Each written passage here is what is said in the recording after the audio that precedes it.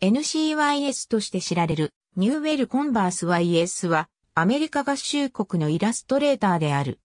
ハワード・パイルの弟子で20世紀初頭のアメリカの代表的イラストレーターの一人である。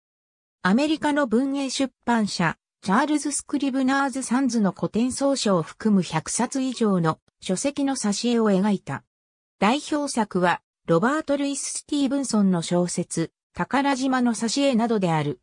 カウボーイ役のモデルを使って作品制作中の NCYS マサチューセッツ州ノーホーク郡のニーダムで生まれた。先祖は1645年にイギリスからマサチューセッツに入植した家系で独立戦争や南北戦争に参加した著名な人物たちを出している家系である。母方の家系はスイス出身で母親は有名な作家。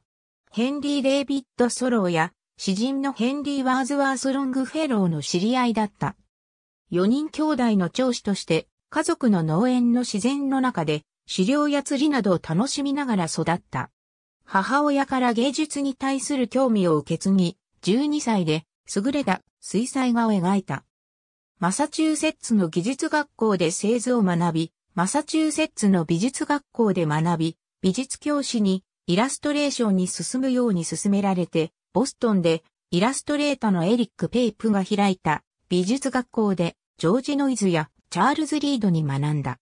1903年の2月のサタデー・イブニング・ポストの表紙を描いたのが最初の商業美術の仕事となった。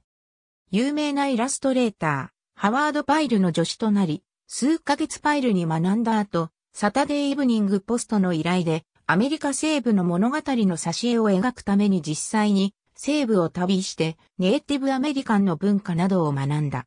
西部には2年後にも旅し、カウボーイやインディアンの衣服や工芸品を資料として集めた。1908年に結婚した。1911年から西部を題材にした作品から文学作品の挿絵の仕事を始め、スティーブンソンの小説、宝島の挿絵で成功を収めた。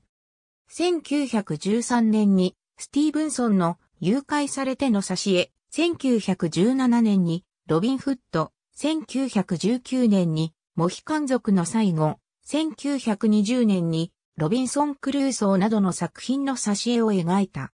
センチュリー、ハーパーズ・マンスリー、レディース、ホームジャーナル、マックルーア、S マガジン、アウティングなどの新聞、雑誌の挿絵やも描いた。